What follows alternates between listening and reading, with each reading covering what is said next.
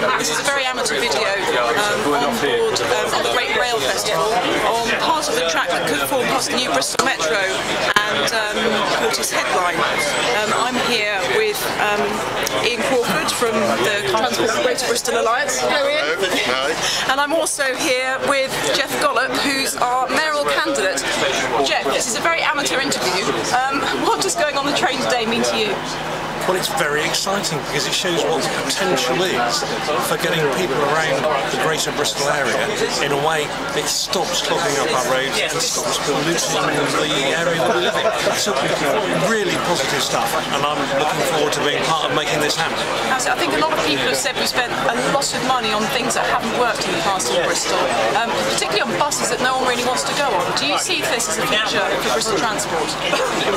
We've spent money on actually talking about what never happens. And, uh, and, and, one of my key measures is to actually get some action. We need to get Bristol moving so that people who go to work can get to work, people who visit this place can enjoy it and not spend their time stuck in traffic, polluting the atmosphere we, we live and breathe.